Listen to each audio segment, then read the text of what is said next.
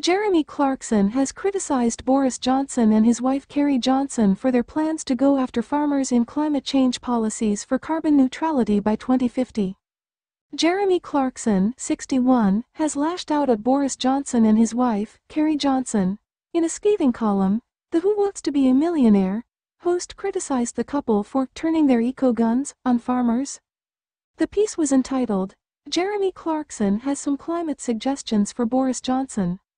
He prefaced by expressing concern for the lack of carbon dioxide, which is needed for purposes such as freezing food in supermarkets and stunning animals before they are executed. The presenter went on to criticize other parts of Johnson's climate policies before launching a verbal attack on the couple. He said, I'm afraid it's going to get much, much worse because Carrie Johnson and her bouncing Boris mouthpiece are about to turn their eco-guns on farming. Clarkson claimed that they have decided that farmers are ruddy-faced planet killers.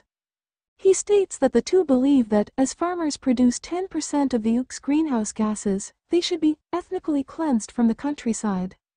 Then it could all be sold to Russian oligarchs, who'll plant a billion conifers, and eco-lunatics, who'll fill the resultant monoculture with wolves and bears, he added.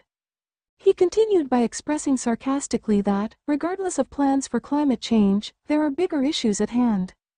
He commented, Couple this to the ban on internal combustion and the exciting plans to make everyone heat their homes using soil and, yes, it's possible that Britain will be carbon neutral, as promised, by 2050. Lovely, but where will our food come from? Jeremy didn't stop his criticism of Carrie just yet, however. He stated that Britain's number one priority should be self-sufficiency, which is currently at 60%. He lamented that the government will continue to decrease this figure because food production technology will produce more global warming. Clarkson then stated in the Times last month, I'm sorry but Carrie has made it plain that achieving carbon neutrality by 2050 is not just a government priority, it is the government priority. So, right, we buy our food from abroad, which means we've simply exported the global warming problem to another country. That's the nuisance fact about climate change that I don't think Carrie has grasped.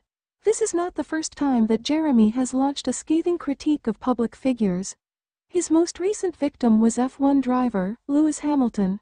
He wrote of Lewis in a column published on Monday, saying that he had changed. The broadcaster said he was now more woke and politically correct than a student AGM.